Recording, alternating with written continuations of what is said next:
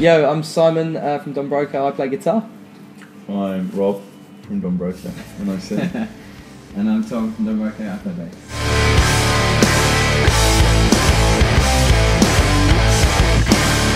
Amazing. Yeah, I mean, um, every show's been, you know, the biggest shows we've ever played to loads and loads of you know, people, and we've been playing to, you know, some of our fans are at the shows, but a lot of new fans as well. So it's been a real sort of, you know, big one getting to play to new crowds for us. So. Plus, getting to play with Billy Talent, 'cause they were like one of our favourite bands before we came on the tour. So it's amazing to get to support, you know, some of your idols. Quality. Indigenous As soon as she turns on Soon as she turns Yeah, good. Um, it was kind of kind of rushed. Um, we were on tour actually when we um, recorded most of it. We sort of got to a point last year where like, right, we you know we need we need an album, and we had so much touring to do. We had to sort of write it in the van while we were on the road, and sort of started off with riffs in the back of the van. Some would be jamming stuff, we'd be singing along in the van, recording it on our phones. It was only when we got back last summer that we actually got into the studio to sort of record it properly. Um, yeah, and then it, it took a while to actually come out. So it came out um, earlier this summer, but yeah, really, really good process. Enjoyed it. Yeah, it's been been huge. Like we, uh, as soon as we released the first single, Priorities, that got a massive, massive response. Um, and when we started dropping some of the new songs at shows, uh, it was all very instant. Like the crowd really seemed to warm to the new stuff, um, which is always a bit of a scary thing when you've got a kind of a back catalogue of songs you know people like. When you start putting new ones in, it's always a bit kind of, oh god, I hope people really respond to these ones well, and they did. So yeah, it's been going down really well.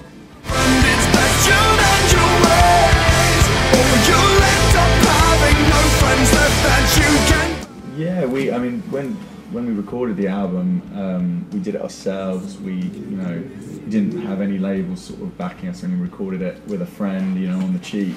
And it was only after we had the finished album that we started sending it out to various management companies and labels. And uh, we were talking to a few, and you know, there are a lot of really, you know, great labels out there, but Search and Destroy seems to have the whole package. You know, you've got the backing of a major label, a great management team as well.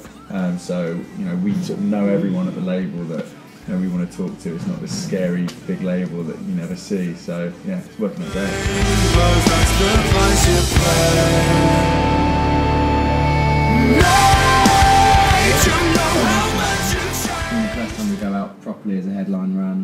You know, our show, our kind of our bands that we picked to come away with us and that kind of thing.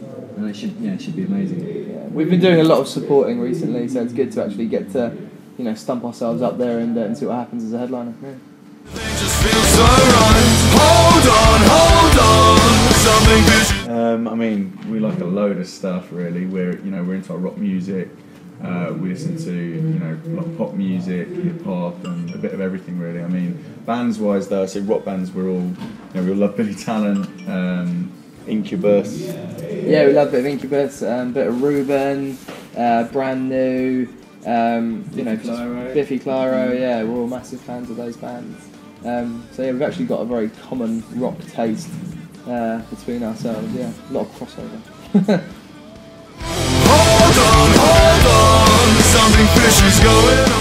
It'd be good to do something huge, like You Me at Six um, have just announced their Wembley show, and that must be a massive kind of landmark achievement for any kind of rock band. That's a huge thing to do.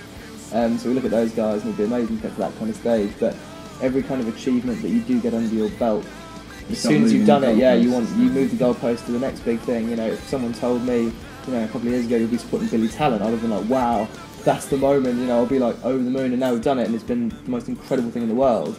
But you're always then thinking, what's going to be next? What can we put ourselves to? What can we, you know, aspire to do beyond what we've achieved already? Bobby, that was your phone, mate. Yours. Naughty. Yeah, put it on silent. Very well covered, though. Should we be lying? Yes, we can keep To starting to write um, some new material, but we've been so busy this year, um, and because we're you know now smack bang in the middle of the album cycle, finding free time to do anything um, is, is really difficult. But we want to start writing new stuff as soon as possible.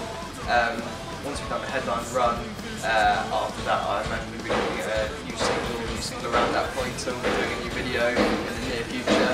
Uh, yeah, busy, busy, busy.